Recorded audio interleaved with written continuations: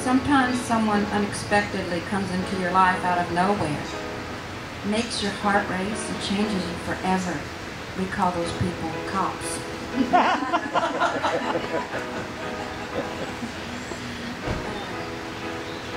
Behind every angry woman stands a man who has absolutely no idea what he did wrong. Repeatedly. Maybe. Uh-oh. Yeah, maybe. So I call forth and I dedicate this flame to the threefold flame in the heart. That would be divine love, divine wisdom, and divine power. This flame I dedicate to the diamond platinum ray. This flame I dedicate to friends and family. Friends and family. This flame is dedicated to Archangel Raphael, Archangel Raphael. This flame is dedicated to COL Australia. COL Australia. Do I have an, uh, Peace. peace? All right, this flame is dedicated to peace. Peace. And this flame to health. Health and COL. Health Our and center. And this COL. There you go. The health of our center. F-N-L-U-L. Okay. In your, in your books, in your, right in the front cover, you have a decree called I Am Light, and then you also, on the back of it, have a list of the 12 match, mas, the masters of, Of the 12 points of consciousness. So the masters of the 12 points of consciousness, we're going to call them in. Go down the row, we'll call them in together. Are you ready? Together. Great, Great Divine Director, Saint Germain, Jesus, Helios, Godfrey, Moria, Serapis Bey, Kuthumi, Lanto, Victory, Cyclopea, Lord Maitreya. That was great. Thank you so much. I want to do announcements. Donell's going to do announcements. Good morning. Good morning. How is everybody? Is this a tent revival or what? Yeah. Let me hear it. Yeah. All right. Amen. Amen. Hallelujah. Yeah. Yeah. Okay. Um, it's great to, to be back together again. It's out here in this beautiful weather. Used to be. And uh, thanks to Ron and Jareen for this wonderful tent and for all the people that have helped put it up and get us ready for today. We've had several meetings on how to uh, keep our center uh, sanitized and organized and uh, ready for people to enter. And so we've come up with some guidelines. Uh, it was all it was emailed to everybody, so hopefully you saw that. It was also posted on Facebook. And, but just to let you know, while you're here on Sunday mornings, uh, the restrooms, if you need to go to the restroom, you'll enter up the ramp. And only three people are allowed in the building at one time without masks. So when you go in, there's a whiteboard there where you can put your initial on it. So only three initials on there. There's two bathrooms downstairs and one upstairs, so we can have three people in there. This entrance is going to be for clergy only on Sunday mornings because we'll be going in and out trying to get get set up and ready. In the restrooms, there are uh, there's a list taped to the mirrors, I believe, in each one of the restrooms, and it tells you what you what you need to do when after you use a restroom to keep it sanitized. There's hand sanitizer. Well, there's wipes in there, and so you'll take one or two wipes and wipe down everything that you've touched, and um, including the doorknobs and the light switches and the handicap rails, the toilet flusher, the, the whole bit. And then uh, we wouldn't have as, um, if everybody does this, consistently, then there won't be as much for the cleaning crew to have to sanitize later. So as we use the center, that's available. There's also hand sanitizers located in the hallway here at the back door, uh, in between the two bathrooms, and upstairs outside the bathroom, the little push, the pump sanitizer. So use those. There's a trash can at the bottom of the stairs here, so when you come out and you erase your initial, you can put your wipes in there. You don't have to leave them inside. You'll have those for, you'll have that wipe so you can wipe down the handles as you leave. Six foot path, um, up the ramp, there's markings for six feet apart. So if you, if you have more people, uh, waiting in line, just stay six feet apart. So you don't have to, you don't have to wear a mask outside. If there's more than three people inside, we will be wearing masks. Well, we're just not gonna let more than three people inside. Pardon? We're just not gonna let more than three people inside. Right. That, Right. That's the rule. It's not. Right, not we're, we're gonna keep three people, no more than three people in at a time on Sunday mornings. Um, and the path to get there will be, you know, around, be careful going around the fans because of all the cords and everything. And then go up, in, and then come back out the door and come down the stairs when you're leaving, so you don't have to come back down the ramp if somebody's waiting at the, you know, on the ramp. No use of the kitchen. There are paper towels for use uh, in the bathrooms. Um, we're not going to be using uh, cloth towels for a while. There's no need for that, so that uh, we won't be secondhand using towels in the in the bathrooms. We will be meeting out here, rain or shine, for a while. If it's, I mean, if it's really stormy, it does get wet inside. There's some dripping on the edges and stuff, but um, I, I think, like today, it's beautiful. We can stay out here. Um, people can meet out here for classes. People can meet out here for um, uh, just about anything. Priesthood meetings, board meetings, unless we absolutely want to meet on Zoom. You know. Oops. Is everyone comfortable? Is everyone comfortable? Yeah, is it cool enough for everybody? Got enough air flowing? Okay. If we have more people, we still have some empty chairs. Uh, we can also open up this side and move, move out onto that patio over there. So we don't want anybody parking in this, this area. Um, and it's really good to see everybody again. Thanks for coming out. Anything else? Anything else from the board president? Checking the dogs. Oh. All right, we're going to start with a song. Love, Love is Gentle on page 8 right, y'all ready? Yes.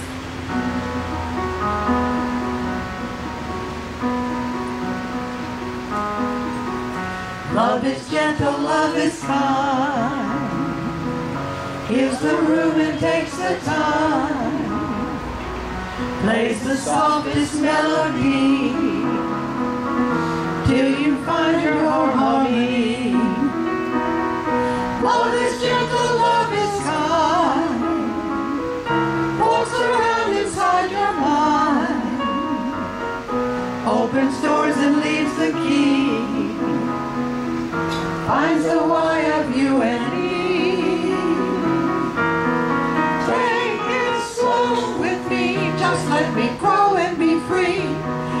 shoot a thousand tendrils up to touch your morning sun. Take your sweet time with me, come make a rhyme with me.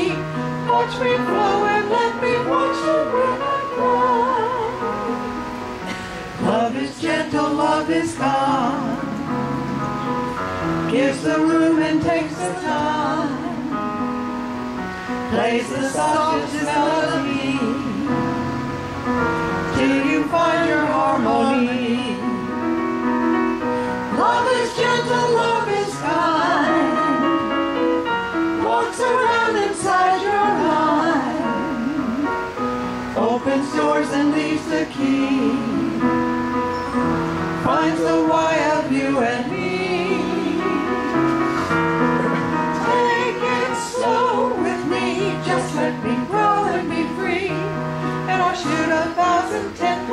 to touch your morning sun. Don't be so sure of me, don't make a cure of me. Bless my wings and let me find my peaceless cloud. Love is gentle, love is kind. Love is kind. Gives the room and takes the time. takes the time. Plays the softest melody. melody.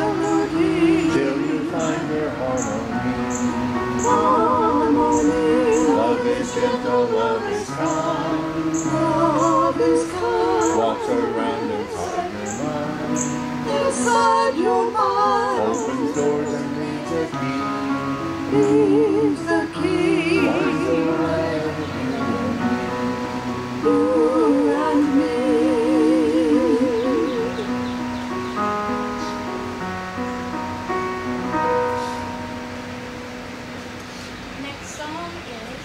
Is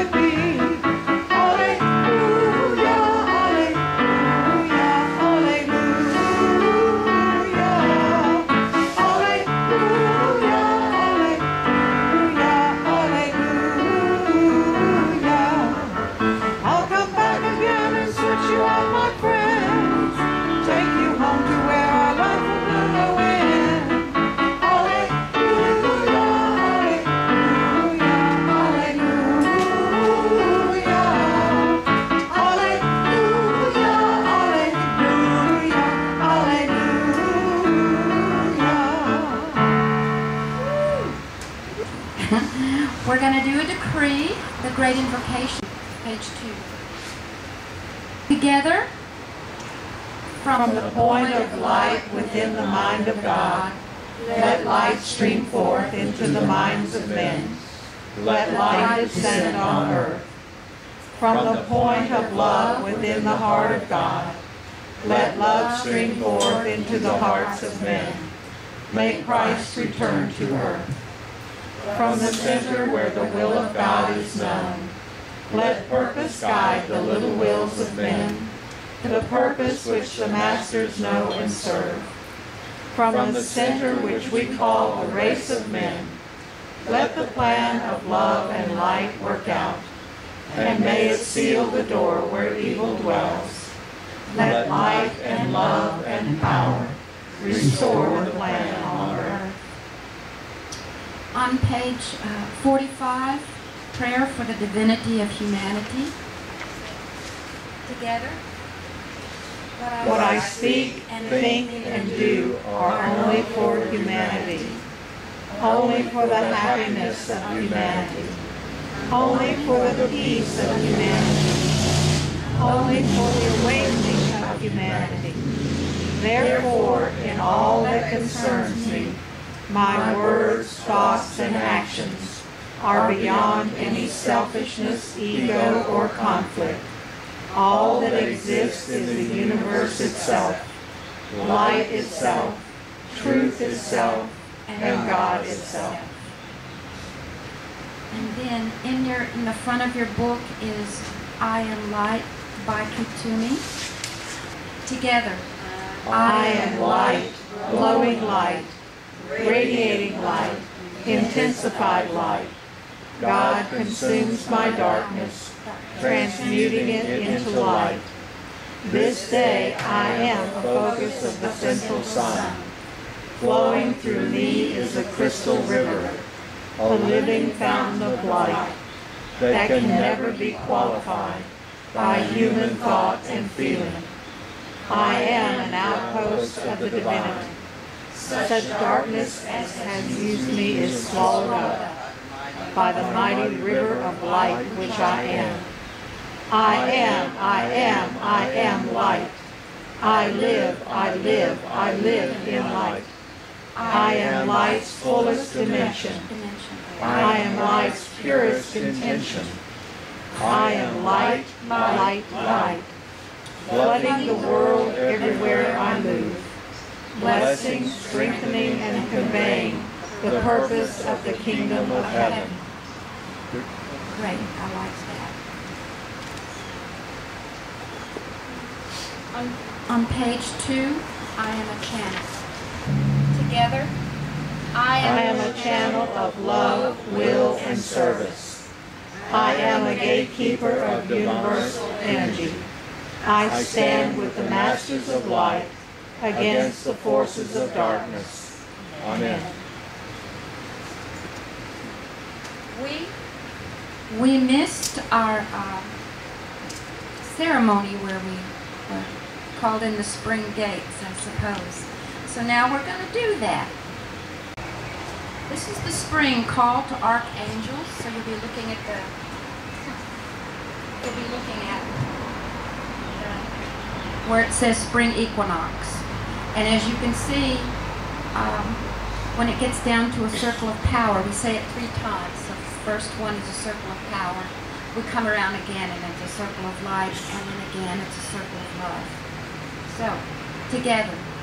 Raphael, Raphael before me, Michael behind me, Uriel to my right, Gabriel to my left, in a circle of power, in a sphere of protection, thus I stand. Raphael before me, Michael behind me, Uriel to my right, Gabriel to my left, in a circle of light, in a sphere of protection, thus I stand. Raphael before me, Michael behind me, Uriel to my right, Gabriel to my left, in a circle of love, in a sphere of protection, thus I stand. I've used this a lot um, during this stay-at-home time. I was home quite a bit, you know, uh, mainly because a lot of the therapists didn't take off. So, you know, I thought, well, there's nowhere to go, nothing to do. They all just went to work instead. So I didn't. I work PRN. If they're off, then I work, but they didn't take off. Now I'm working a lot, but um, so I had a lot of opportunity to uh, read, read some different stuff. Kind of branched out a little bit. I read the art, the art and practice of astral projection. This is a little book I found up here that was on the giveaway table. It's fascinating. I like it by Ophiel, and I don't know if that's some disincarnate. I don't know who this is. It doesn't really say. It's just that one name, kind of like the initiate, you know. But it was fascinating. All my life I've been able to project, uh, mostly when I go to sleep at night, sometimes before I sleep, but you know, I just start drifting out, flying around. Um, don't really have a purpose. I just, you know, just go. But this book kind of explains some reasons why you should pay attention to where you're going and what you're doing. It could greatly uh, enhance your life because then you'll notice uh, some things you could actually have control over in your everyday life. Anyway, anyway, it was fascinating. Some of the weird stuff. Then I got this book. Highly recommended. See, I finished reading um, the uh, the Saint Germain book, Alchemy. Man, that's a cool book. Uh, still don't have a gift for it, so I mean, I'm, gonna, I'm working on it. But then this book was highly recommended. Re- Reality Unveiled. Somebody named Ziad Masri. Very highly recommended. And I guess the takeaway from that book is he's really advocating oneness. I mean, if you don't know who you are, you got to know who you are. So that's something you do through meditation, contemplation. Um, anyway, it was a fascinating book. Well, actually, it, he's not a theosophist. Theosophist. He didn't claim any religion or Buddhism or anything like that.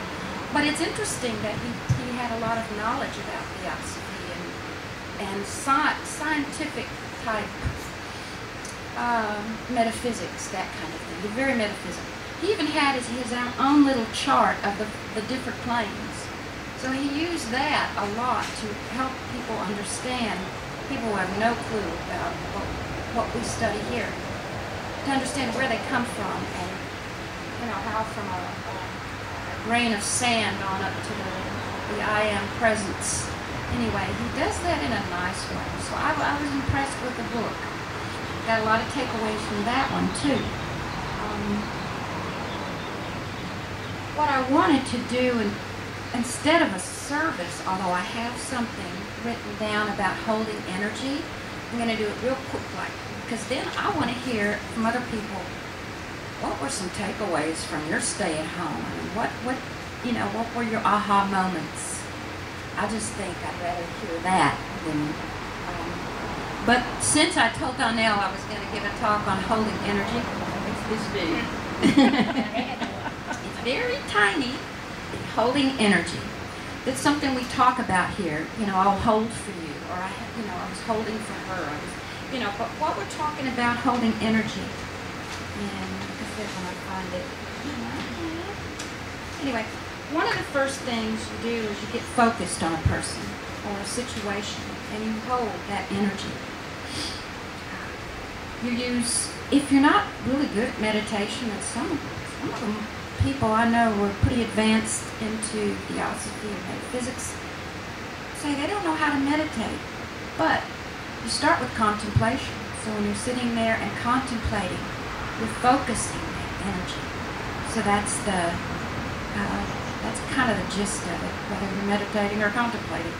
So when you have somebody you have to hold energy for, a situation, no matter how big, the universe doesn't really, I don't have, think it discriminates on size, you know, a tiny grain of sand is as big as an ocean.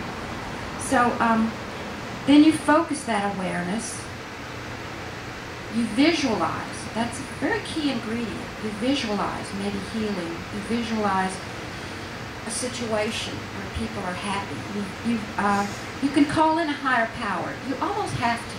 And when I say a higher power, I was thinking masters at first, and I thought, no, I'm, you know, I'm focused and I'm shooting up to my higher power. So, and that clarifies, that puts a lot of clarity and a lot of focus um, and a whole bunch of love, which is a higher energy. Of course, it doesn't hurt to call in a someone who has uh, left this plane because they have mastered uh, mastered the power.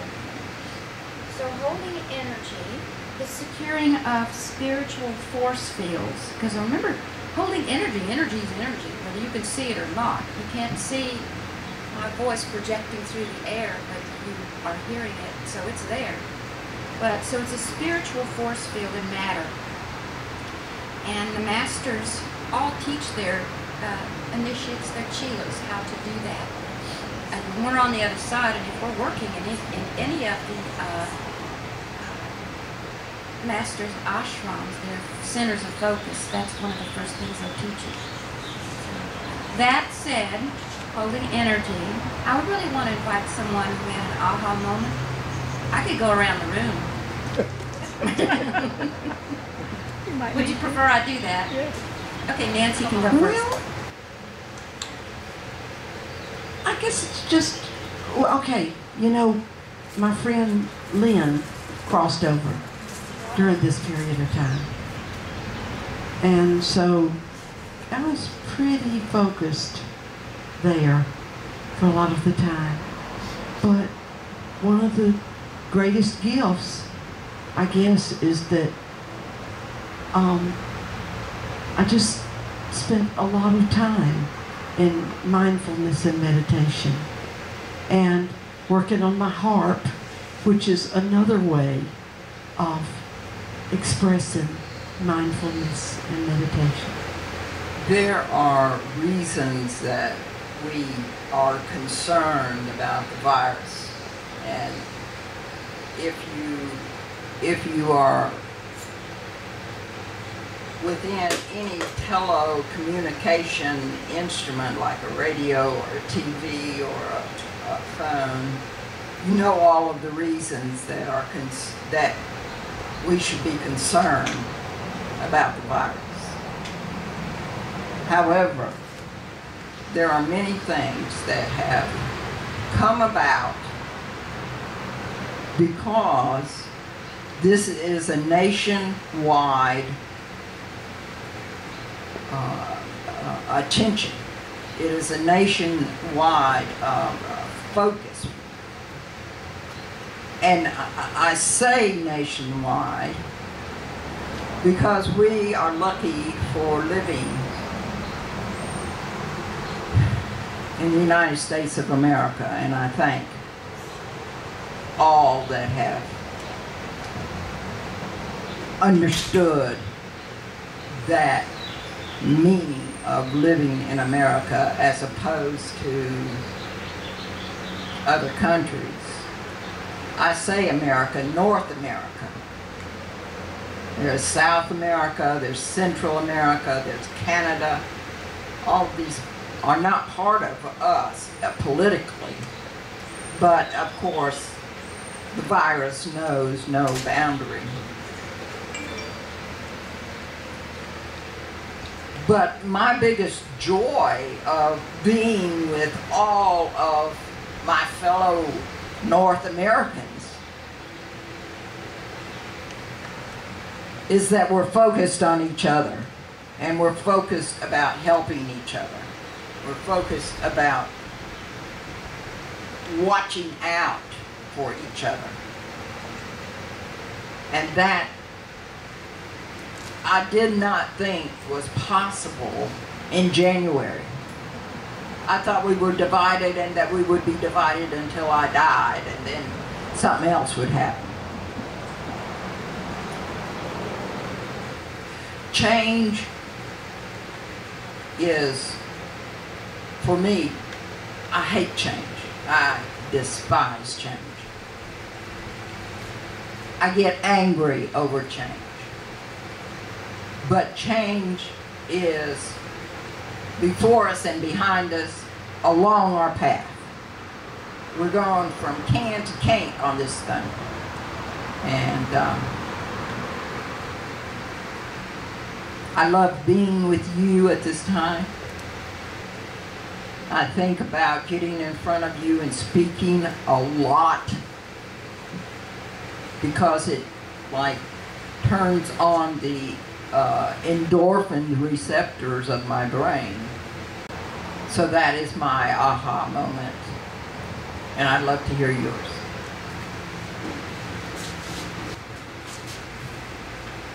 I have always been able to entertain myself since I was a teenager. I used to sneak my mother's books from the Literary Guild and read them all. I was reading Gone with the Wind and my father caught me, thought I shouldn't be reading it and threw it in the furnace. That was the second time I read it. so books fill an enormous part of our life and it did in the last two months. Jigsaw puzzles, sewing, television, computer, fiction, nonfiction. I have always entertained myself, but there had a great deal of time for serious meditation, and I had four people that I kept in regular touch with who really were not handling it well.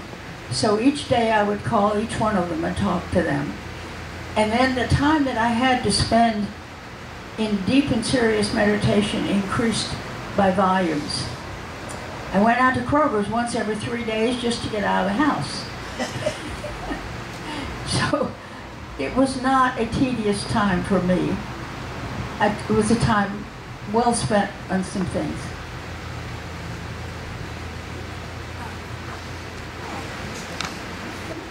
Well, I'm chanting for up to three hours a day.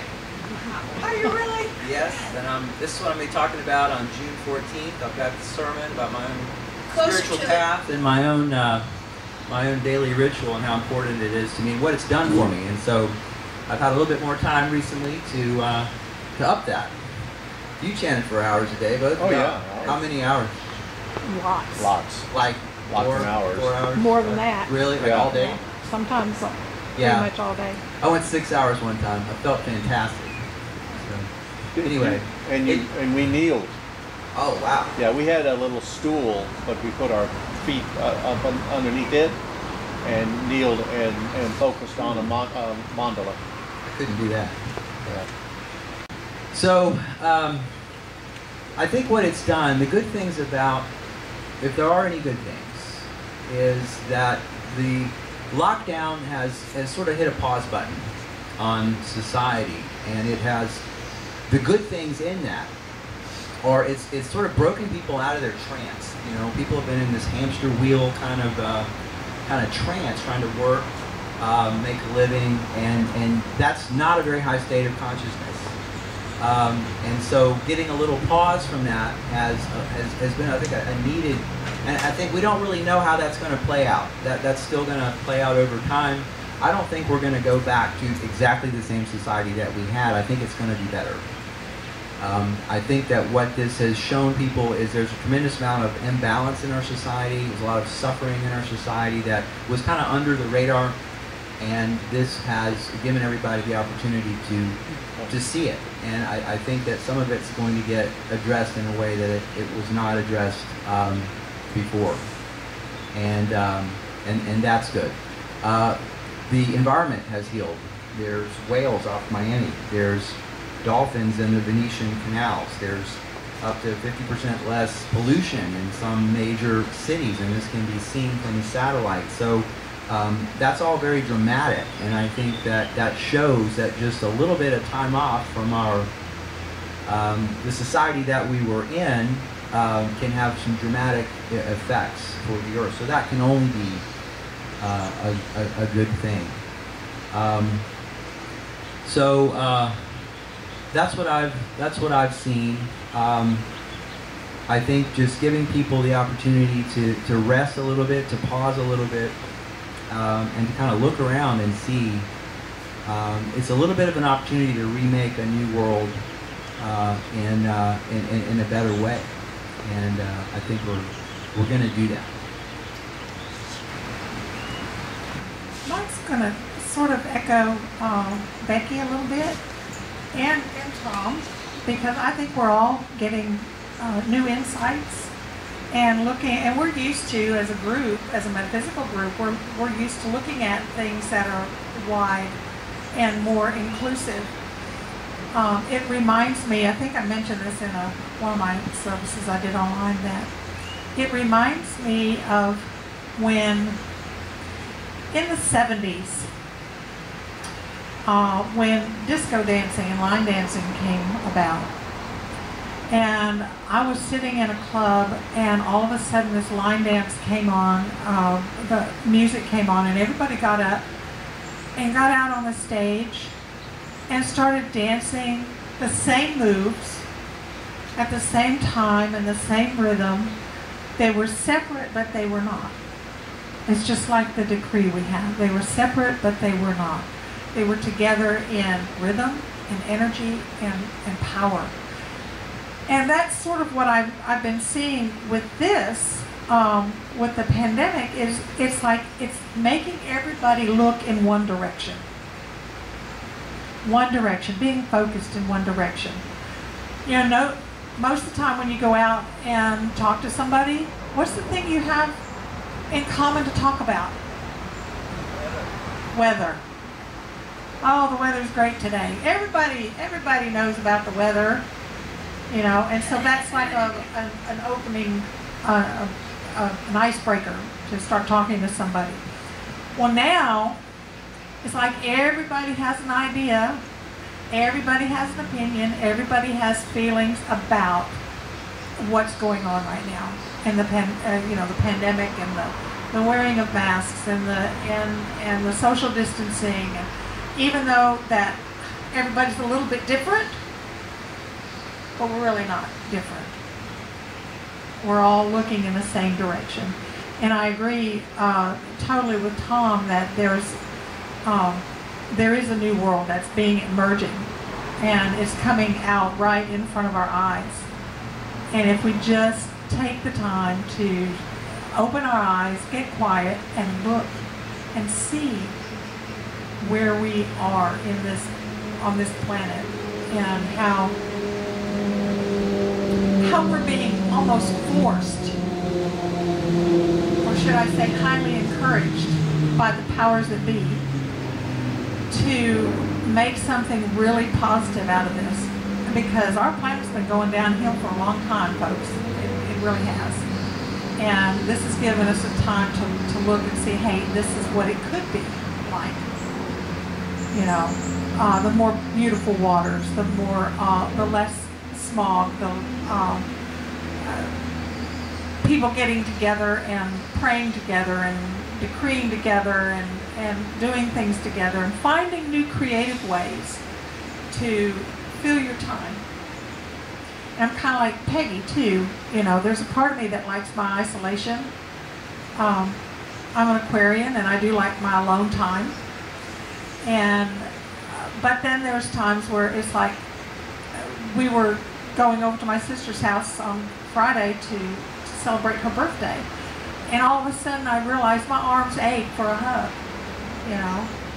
Um, I miss that.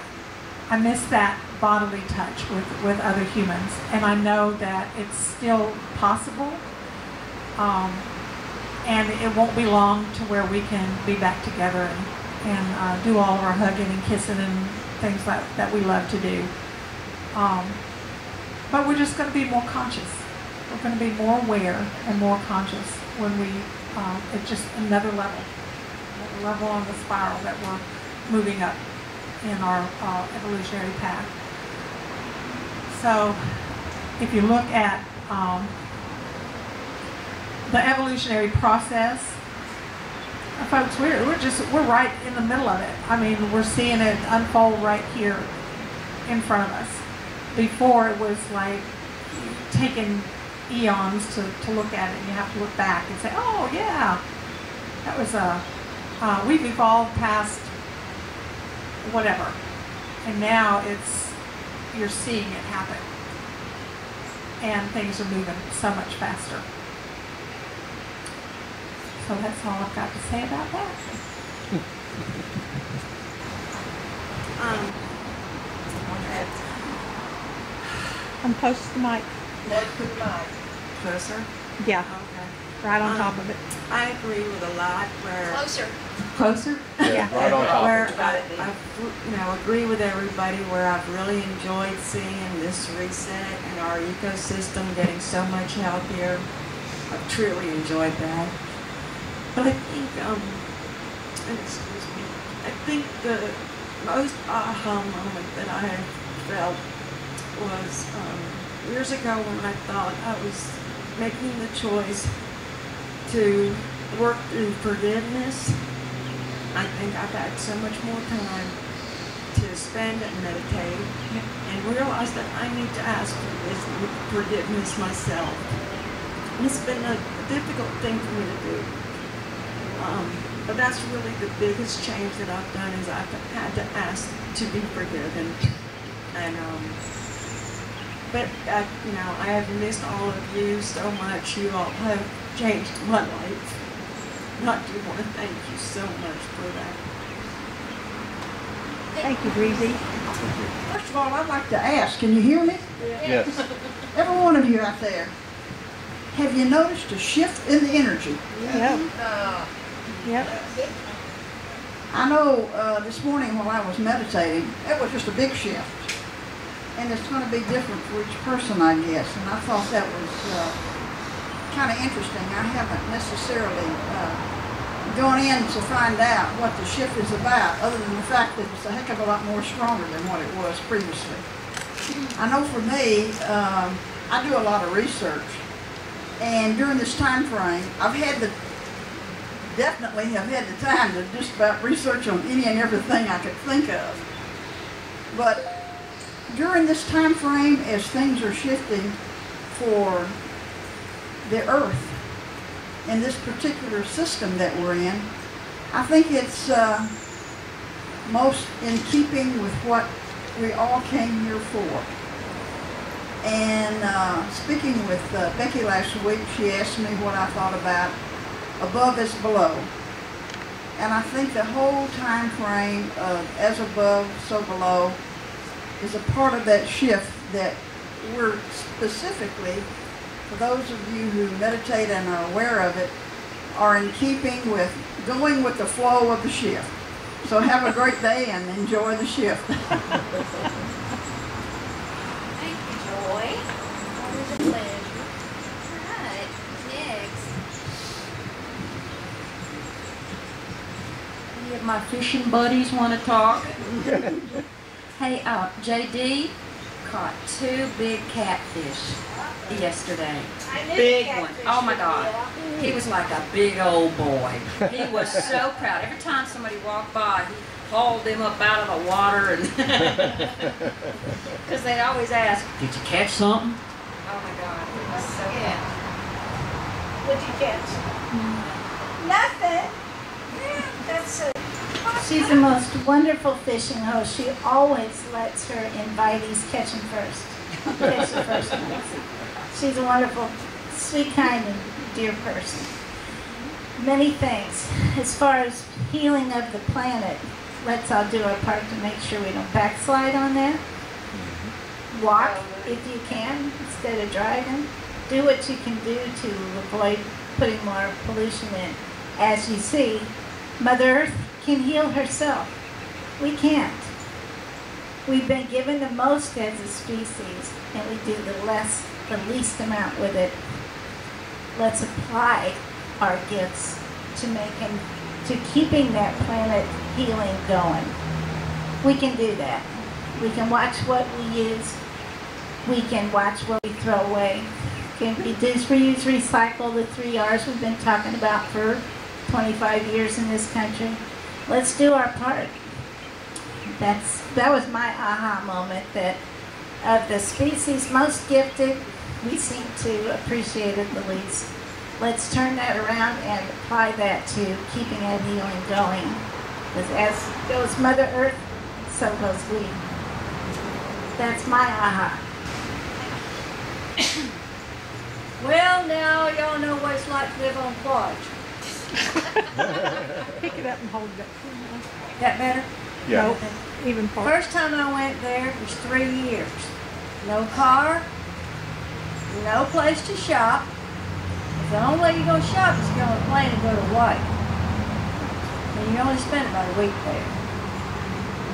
No restaurant really to go to. And you rode a bicycle everywhere you went. And you didn't go real far. Let me tell you. Only three miles long, mile and a half wide. Spent three years doing that. I got really, really, really used to it. So for me, adapting to not home and everything didn't really bother me at all. Went back to college for five years. Did the exact same thing. So I kind of clicked back into what I did then. Was try to more go inside of myself and see what part of me needed to be worked on. What part of me needed to be sit down and talked to. I did a lot of reading. One thing I miss more than anything was all y'all.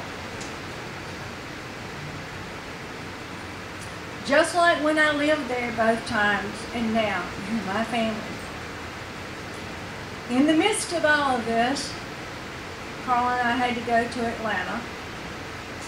Monique had to come from Brunswick up, and we had to move all of Tiffany's stuff.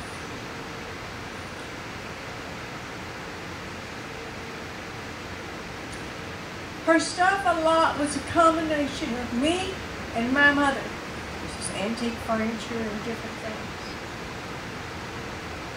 So during this time, there's been a lot of soul searching for me. What was my life like with my mother? What did I need to heal? What did I needed to do? Was there something with my child that I needed to work on? And then seeing my other child. She was fine, healthy, but she's, of you know, she's been through a really rough time this past two years. It's all come to an end and she's doing well. But I think this is a time that we've all gone into ourselves and looked at ourselves and said, where are we? In our own evolution of us. Who are we? What are we? What do we want to now accomplish in our life? What do we want to be? You want to be a better wife, a better mother, a better priest, just a better human being. Because maybe the earth now has turned itself over. Kind of like when I lived on a farm, we plowed the field every spring. Well, now Mother Earth's field has been plowed. So as we go inside and as we look at ourselves, what do we come out with? Do you think that you have grown? I would hope so. I would hope that everyone on planet Earth has now grown and realized that it can be taken away immediately. It can be gone very quickly. Wouldn't take long at all. So you go back and you value the people that are in your life.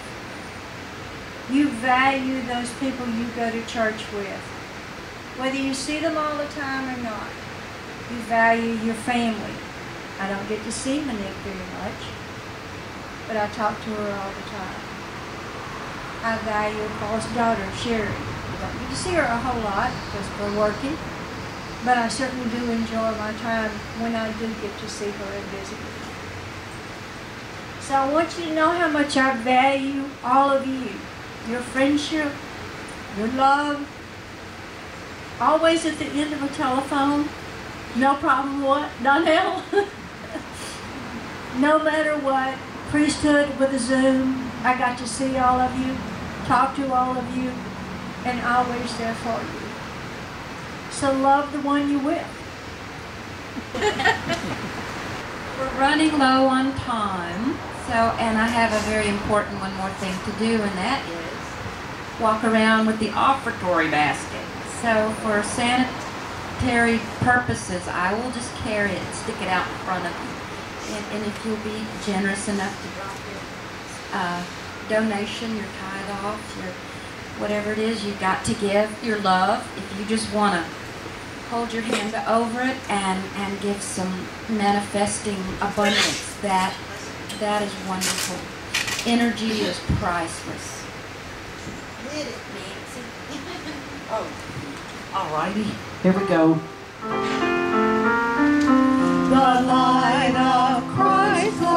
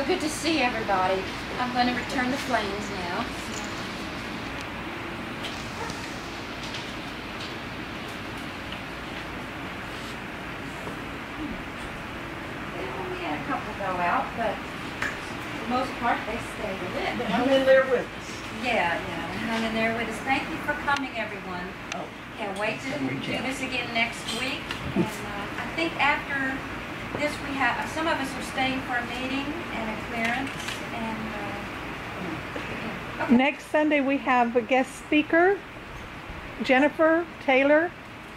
Um, she's got some really interesting things. I'll be posting that on Facebook that she'll be talking about next week. So please be sure to plan to come and enjoy that service. Thank you.